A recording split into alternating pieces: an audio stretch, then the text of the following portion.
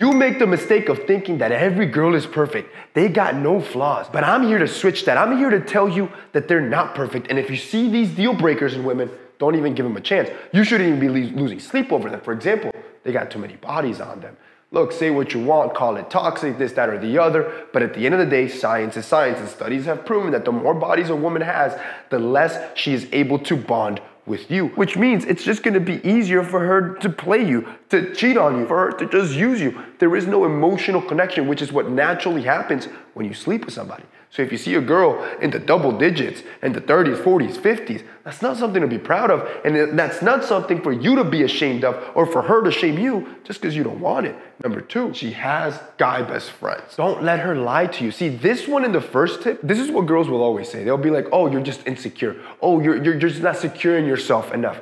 Bro, they're manipulating you. They're gaslighting you. Sure, call me insecure call you a baby, say that you're not confident enough, but don't be dumb enough to get played. The truth of the matter is, you should never trust the other guy because that other guy, he's just waiting for a moment of weakness. And really, you should never trust her with another guy because at the end of the day, in a moment of weakness, in a moment of passion or lust, she won't remember you. Your goal is to minimize the chances of failure. This is what you do in, in life. You mitigate risk. And if you want to mitigate risk, do not ignore that deal breaker. Number three, she doesn't even try. This is a good one.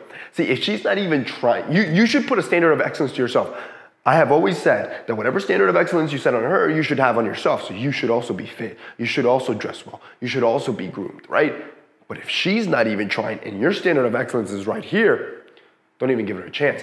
That's a deal breaker right there. Why? Because that girl, she doesn't care about you. When a girl truly cares, she'll put all her effort into it, which means drop her, stay on yourself, king, Keep leveling yourself up. Matter of fact, yo, we're still on Black Friday, Cyber Monday weekend. That's a red flag walking. Ignore that girl. Save yourself the money, spend it this weekend. Yo, everything on our sites are up to 70% off. He Grooming, Santa Lucia, J Black, Essentials. And on top of that, all four brands are getting new products. So for the first time ever, you're getting a crazy sale across all four brands.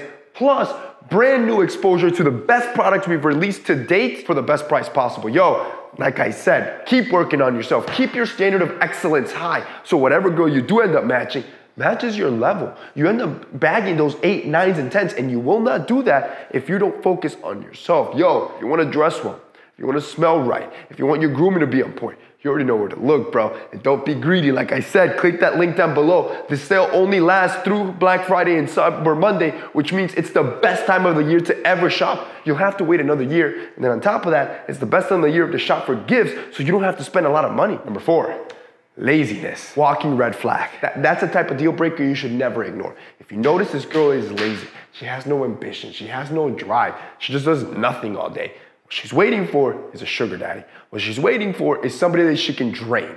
All your hard work will be disappeared. Number five, she's just too masculine. If you notice, she's very confrontational. She doesn't want to submit, but instead, she wants to almost be you in the relationship. She wants to be the man of the relationship. And whoever tells you 50 50, lie to you. There's no such thing as 50 50. No sports team is a 50 50. There is always a team captain. There is always a president. There is always a leader. There has to be a head. That's the only way an organization functions, which means you always respect her, you love her, you take care of her. But you, as the leader, should always adopt that role. And if she's challenging that, she's this is basically telling you she doesn't respect you and doesn't see you in that light. Which takes me to number six. She doesn't talk about a future with you. Any girl you start dating, if you really make her fall in love, she'll immediately start. How many kids you want? What should we name them? Uh, when do we get married? This, that, the other. How, how does our house look? They start making the plans for the future. That's how the girl mind works. If she hasn't done that with you, deal breaker. Finally, number seven, she's overweight. And uh, not because I'm fat phobic, but because, again, the standard of excellence I lay on yourself and on myself, you should lay on the other partner, which means if you are striving to be healthy, to live longer, to look as great as possible, to feel amazing, you pairing yourself to somebody that's overweight in life, there's this phenomenon where it's much easier to always take the path of least resistance. So if you pair yourself with a bad fruit, with a bad apple, you yourself will take those habits. You're gonna stop going to the gym every night and now only three times a week. Now you're staying and eating ice cream. Now you're eating fast food because that's what she likes as well. So what I'm telling you is she's gonna ruin you, bro. That's a deal breaker.